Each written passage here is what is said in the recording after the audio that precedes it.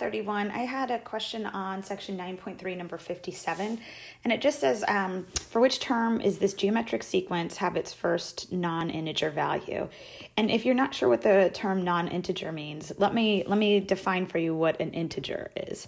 So if I was talking about an integer, let me do the positive integers. So um, they are whole numbers, meaning there's no decimals or fractions. So the positive integers are one, two, three, four, all the way down. You could think of a thousand, a thousand and one, and it just keeps on going.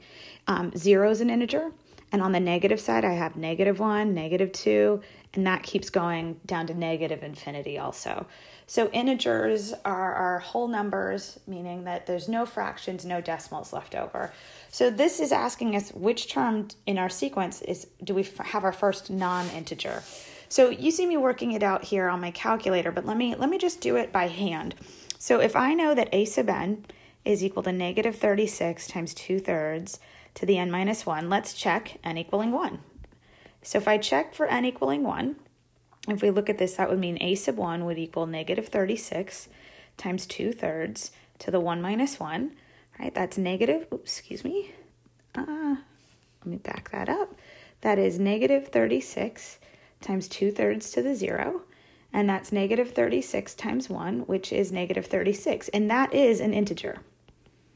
Okay, so that's not my answer because I'm looking for the first term that is a non-integer. All right, so then let's try n equaling 2. So if I try that, let's see, we would have a sub 2 would e be equal to negative 36 times 2 thirds to the 2 minus 1.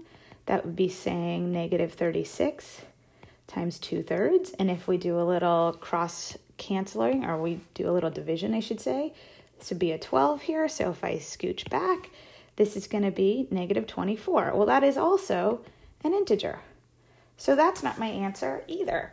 So I'm going to just keep on going. Let's see how this works with n equaling 3 and n equaling 4. So if I try n equaling 3, we would have a sub 3 being equal to negative 36 this would be 2 thirds to now the 3 minus 1. So let's speed this up a little. We would have negative 36 times 2 thirds squared. So if I'm going to do that, that is negative 36 times 4 ninths. I can still do some division. 9 divided by, or 36 divided by 9 is 4. So negative 16 is my answer. Again, still an integer. So I'm going to keep on going. Let's try a sub 4. So if I do a sub 4, this is going to ultimately be negative 36 times 2 thirds cubed. All right, so we'll have negative 36 times 8. 3 cubed is 27. So if we start to pick this apart, all right, if I think about both of these are divisible by 9, so I'll put 9 into here would leave a 3, 9 into here would leave a 4. So I'm looking at negative 32 over 3.